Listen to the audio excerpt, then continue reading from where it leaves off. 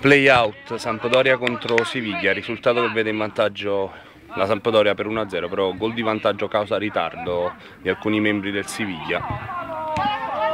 Comunque si riparte dalle mani di Micillo che serve di Vito sulla corsa, tenta il dribbling, si accentra, poi sbaglia il passaggio per Corporente, anticipa bene Morvillo, ma Isto se ne va contro Cassese, tenta il tiro, non ha visto l'inserimento centrale di Barone.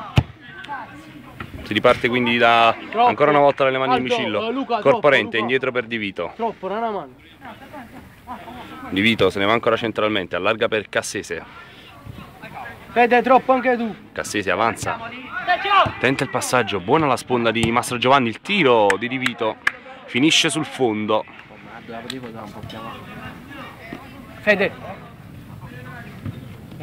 L'oggi portiere Basile rimette in avanti, poi Lizzadro ancora per Corporente, la stessa